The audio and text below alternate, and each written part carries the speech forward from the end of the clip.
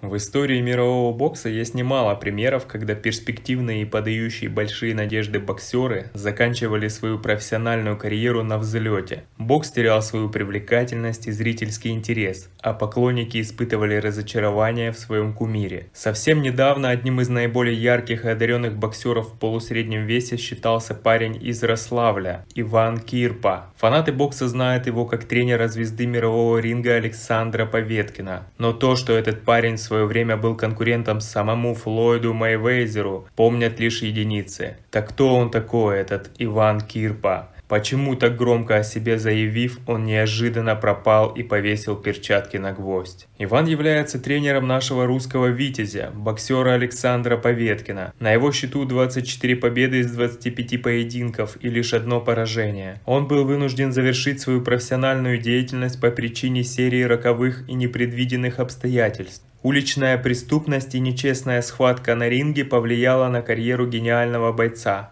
Летом 2002 года Иван Кирпа проходил подготовку к бою, который организаторы хотели провести в Латинской Америке. По пути домой он встретился с нетрезвой компанией. Завязалась неравная схватка, в которой боксер показал себя более чем достойно. Но отморозков было намного больше, и Ивану пришлось несладко. Его привезли в больницу с многочисленными ушибами и травмами. Естественно, про пояс чемпиона пришлось забыть. Кирпа отошел от бокса на полгода. Подлечив травмы, Иван продолжил выступать на ринге, побеждая одного за другим. В рейтинге мирового профессионального бокса 2010 года Кирпа уступал лишь Мейвезеру и турку Айдыну. Скоро намечался главный поединок всей его жизни за пояс чемпиона мира по одной из версий. Незадолго до этого Иван Кирпа приехал на родину, в город Рославль Смоленской области. И опять тот же сценарий. Ночной город, прогулка, улица. В этот раз произошел конфликт с двумя молодыми людьми, девушкой и парнем. Парочка была явно агрессивно настроена по отношению к Ивану. Тот, видите ли, не так посмотрел в их сторону. Этот инцидент, как потом рассказывал сам Кирпа, имел для него намного серьезные последствия, чем те, что были после первой уличной драки. По рассказам боксера он попытался решить конфликтную ситуацию мирно, но молодые люди думали иначе. Началась разборка, пыл хулигана немного остыл, после того как боксер сунул тому в печень, а затем и в челюсть. Но падая, негодяй натянул Ивану на голову куртку, после чего боксер на время потерял контроль за происходящим. Этим воспользовалась барышня, взяла разбитую бутылку и серьезно ранила Кирпу в спину. В дальнейшем наказание так никто и не понес. Та пара смогла избежать ответственности и дело было замято. Все говорило о том, что ситуация запутанная и разбираться особо никто не станет. Иван долго проходил лечение, восстановление шло медленно и трудно. Боксер так и не смог избавиться от полученных в родном городе травм. Парню уже было 32 года, и он решил уйти из профессионального бокса и повесил перчатки на гвоздь. После стремительного взлета последовало обидное и больное падение с пьедестала славы. Иван некоторое время подрабатывал в охране, пока в середине 2012 года не познакомился с Александром Поветкиным. На тот момент русский Витязь являлся самым именитым российским боксером супертяжелого веса. Закончив свою карьеру как боксер-профессионал Иван Кирпа продолжил блестяще выступать на профессиональном ринге, но уже в качестве тренера. Во многом благодаря своему наставнику Александр Поветкин одержал немало побед на рингах мирового профессионального бокса.